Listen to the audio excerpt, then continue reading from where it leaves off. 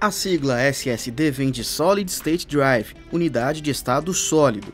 Diferentemente dos discos rígidos comuns, esses componentes não possuem partes móveis, o que aumenta sua confiabilidade. Nós vamos aprender a instalar e configurar uma unidade SSD no seu computador.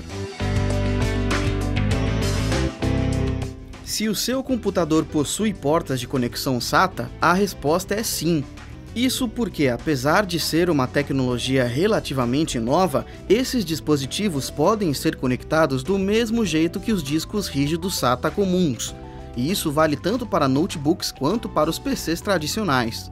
O Windows XP pode aceitar discos SSD, mas pode ser um pouco mais difícil fazê-los funcionar nesse sistema devido à sua idade avançada. Mesmo que a BIOS da placa-mãe detecte o dispositivo, a instalação do sistema operacional exige drivers específicos, algo que não deve acontecer nas versões mais recentes do sistema. Antes de instalar o SSD no notebook, certifique-se de que ele possui o mesmo tamanho do seu HD original, geralmente 2 polegadas e meia. Desligue completamente o notebook e remova a bateria. Em seguida, procure o local onde o HD é conectado na parte de baixo do aparelho. Remova os parafusos necessários e abra a tampa com muito cuidado. Preste atenção para não danificar os componentes internos do notebook. Em alguns casos, o HD fica preso em uma carcaça metálica. Nesses casos, você vai precisar dela para o SSD. Com muito cuidado, puxe o HD para trás para desconectá-lo da placa. Depois, conecte o SSD na placa do notebook. Recoloque os parafusos e termine de fechar. Agora vem uma parte importante do processo. Logo que você ligar o notebook, acesse a BIOS do sistema e certifique-se de que a interface SATA está configurada para o modo AHCI.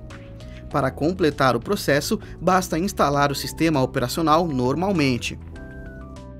Se o SSD que você pretende instalar no seu PC medir 2 polegadas e meia, você vai precisar de um adaptador externo para que possa prendê-lo nas baias do seu gabinete.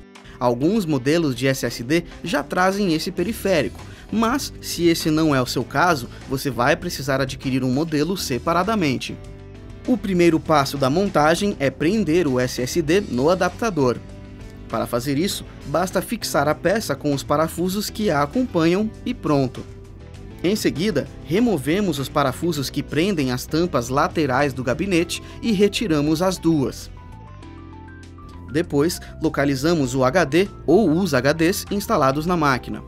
Caso você queira substituir o disco original, solte os cabos, remova os parafusos e retire o disco. Para instalar o SSD, repita o processo inverso. Coloque a peça na baia, prenda ela com os parafusos e reconecte o cabo SATA e o cabo de energia.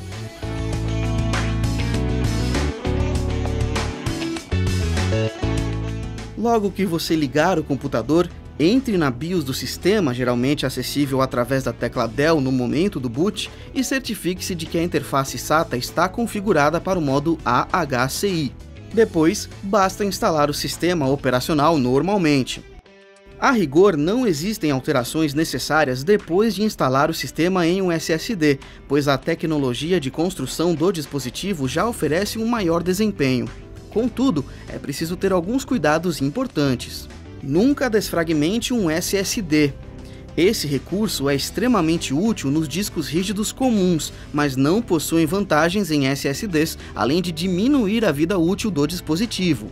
O Windows 8 reconhece o SSD e oferece a opção otimizar disco, em vez de desfragmentar. Isso já não acontece com todos os softwares e utilidades de disco disponíveis no mercado, portanto, fique de olho.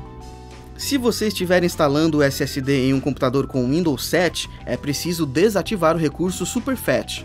Para fazer isso, acesse o menu Iniciar, digite services.msc.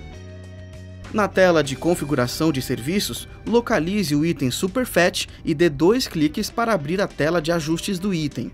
Depois, clique em Parar para parar o serviço e altere o modo de inicialização de automático para desativado reinicie o computador e pronto. É importante notar que o Windows 8 possui esse mesmo recurso, porém ele funciona de forma diferente e não deve ser desabilitado.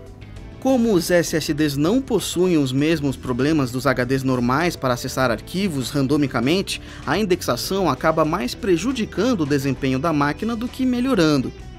Para desabilitar a indexação de arquivos, acesse o Windows Explorer e em seguida Meu computador. Nessa tela, clique com o botão direito sobre o seu SSD instalado e clique em Propriedades. Na tela que abrir, desmarque a caixa que diz permitir que os arquivos desta unidade tenham o conteúdo indexado. Importante: caso você tenha mais do que um HD instalado na máquina, é possível manter a indexação para os discos que não forem unidades SSD. Esse foi mais um tutorial do Tecmundo. Até nosso próximo vídeo.